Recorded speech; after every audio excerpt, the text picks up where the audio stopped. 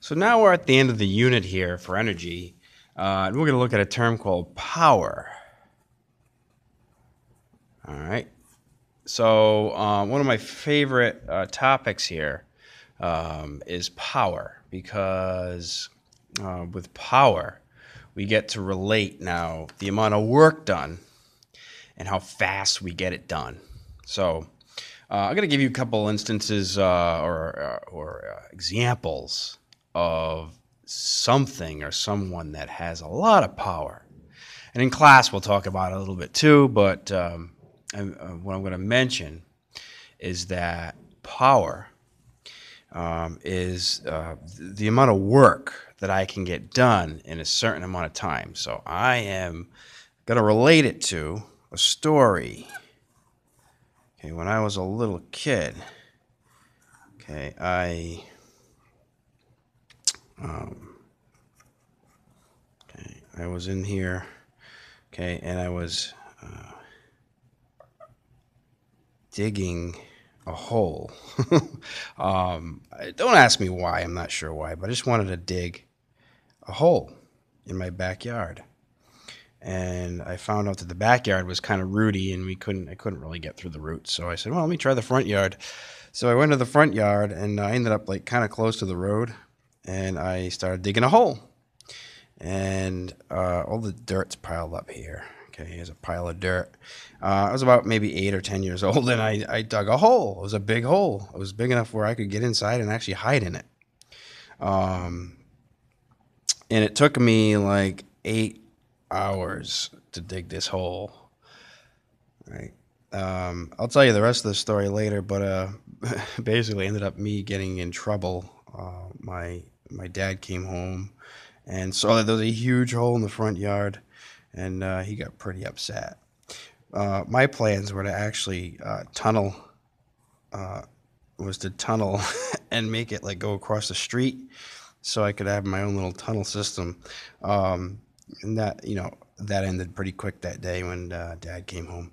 But okay, so here here's the thing. So power. Uh, if, if I were to dig this hole in eight hours, I would accomplish a certain amount of work. I would move the dirt. Remember, we said work is force times distance. Did I move this uh, dirt a distance? Yes, I did. Um, did I apply a force? Yes, I did. So I could calculate the force here uh, and then the distance and, and, calculate the work done.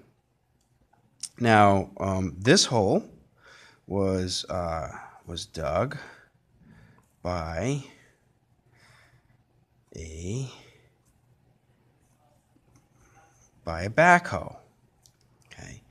And this backhoe can dig the hole in eight minutes.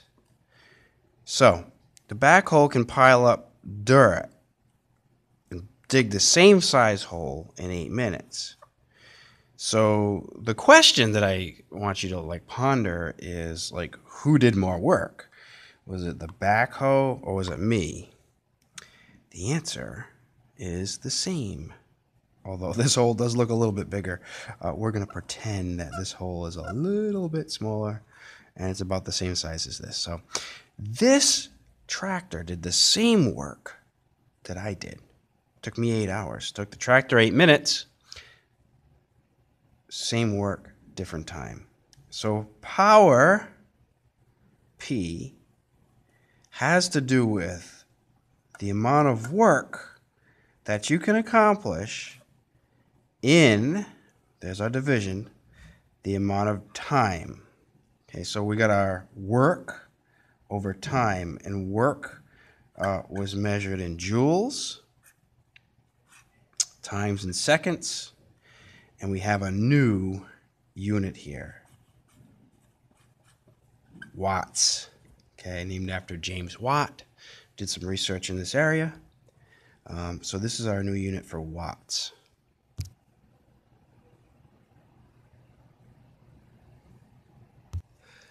So with this uh, new concept of power, okay, um, we may, we're going to get into some examples. And one of the labs we're going to do And you may have done something similar in the ninth grade uh, with me or with another uh, one of the earth and physical science teachers. Uh, but you, you- what we're going to do is we're going to uh, determine like how powerful our own legs are um, in watts, and then we're going to convert that to uh, horsepower. So, um, just a useful uh, useful tidbit. Um, we measure one horsepower is equivalent to the uh, uh, 746 uh, watts. Okay, there's just a useful conversion that we're probably going to have to use at some point. Uh, this is American. This is metric. American metric. Um, and we can also actually say that uh, we, we can measure power also in kilowatts. So, um, so when we're looking at power, okay, if I have, let's say, an elevator, okay, an elevator, I want to give the elevator a mass of a thousand kilograms, and I'm going to pull the elevator up. Um, let's say a displacement of I don't know. Let's say let's say it's a pretty tall um, building, hundred meters. Okay, let's say that um, let's say that it does it in a time of 45 seconds. Okay, so the elevator goes up a distance and it takes this much time.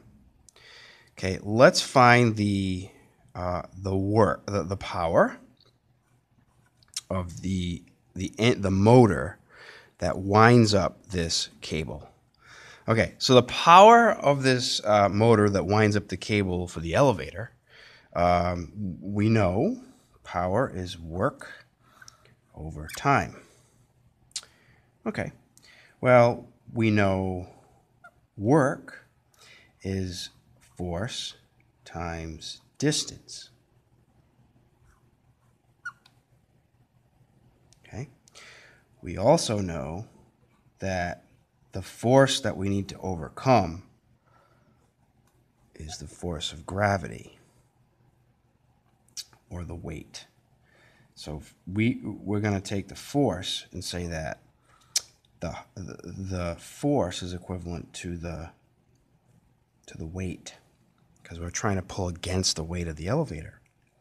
So the force of gravity, Fg, is m mass times gravity times the distance over the time it takes.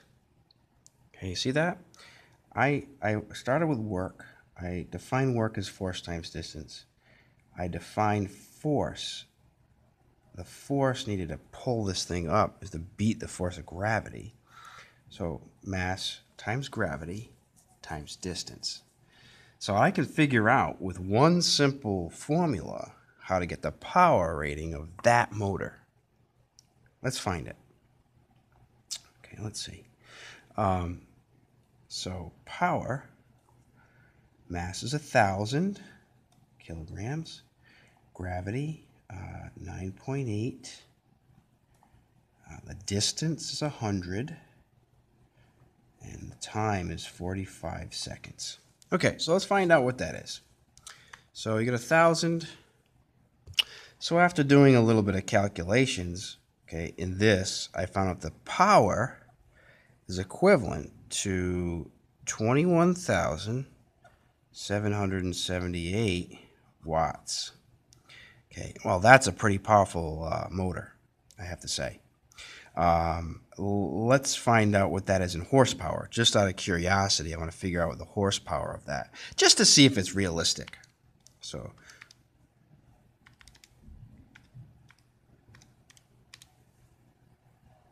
okay, so if I find out the horsepower, uh, it's this number over 746.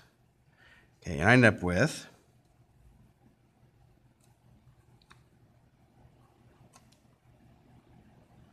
twenty-nine.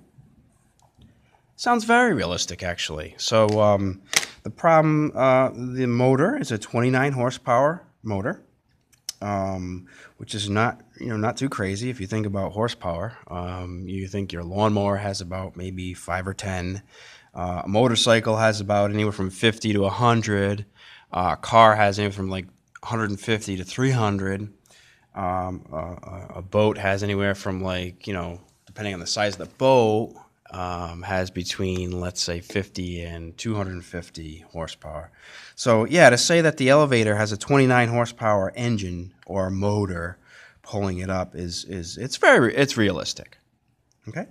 So, this is a cool little, uh, cool little way to calculate the horsepower of something um, that does an amount of work.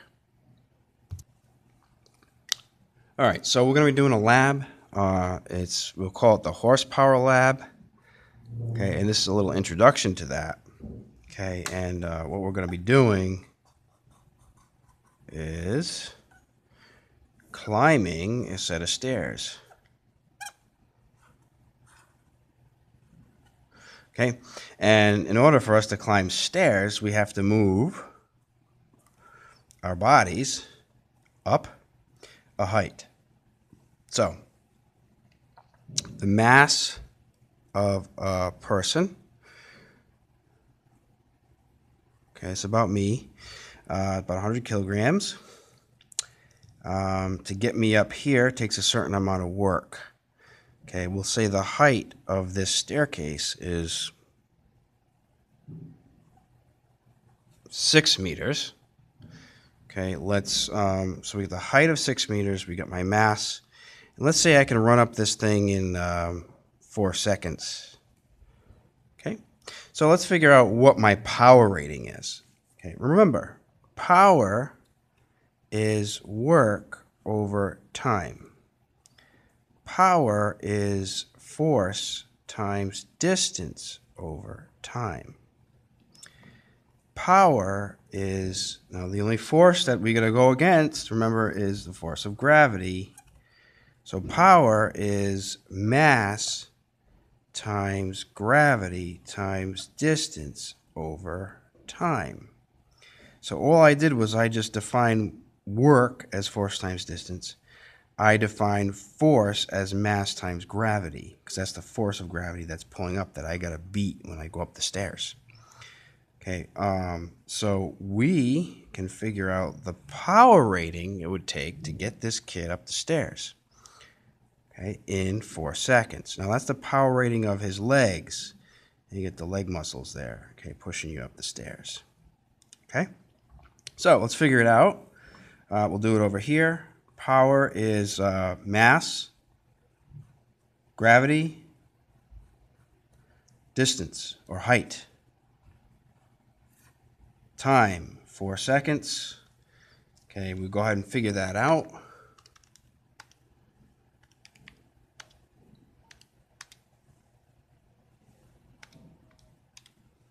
Yeah, so that's a high watt. So power is uh,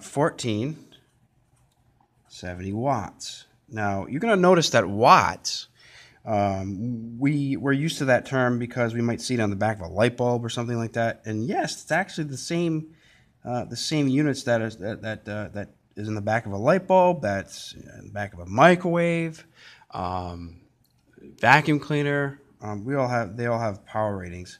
So this person's power rating is 1470 watts. Divide by 746 to get the horsepower and you can find out that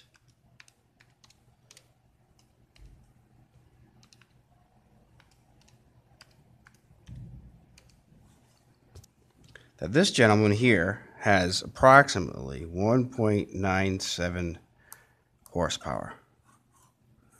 Okay, so the horsepower rating can be solved pretty easily just by getting the time it takes for you to run up the stairs. So as you guessed it, we're going to be doing a horsepower lab. Measure your uh, the power of your legs. Okay, so there it is. Okay, finding the horsepower of a person's leg muscles to get up a set of stairs given a height given a time, and knowing the person's mass.